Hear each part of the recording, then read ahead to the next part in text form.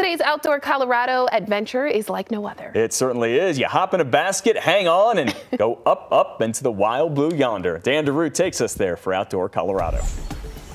Three, two, one, and we are launching right now. Lifting up. There is nothing quite like it. Being lighter than air. We just put a little heat in the balloon. It is quite exhilarating. Crew, let's go, and we're flying. And maybe that's what keeps balloonist Ken Tadolini. And I'm gonna have to burn now. Okay, you got doing it. It's very, very calming, very congenial, uh, exciting. For 42 years, Ken has been soaring the peaceful heavens with no sound but the occasional burst of heat from the burners to keep the gravity at bay.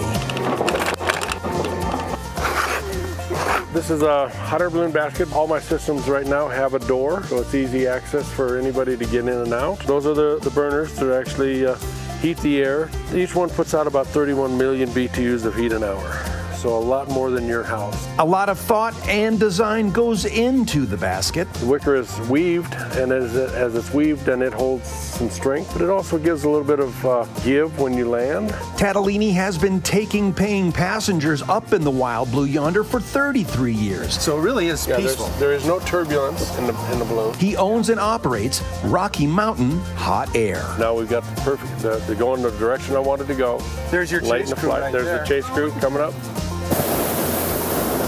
Ken says there is nothing quite like the serenity and peace of mind up in the sky. We're from Oz. Where are we? What is. What? What? Would you stop doing that? When he's alone, that is. That worked. Gee, that was terrible. Dan Daru, Fox 31. Did you survive that hard landing there?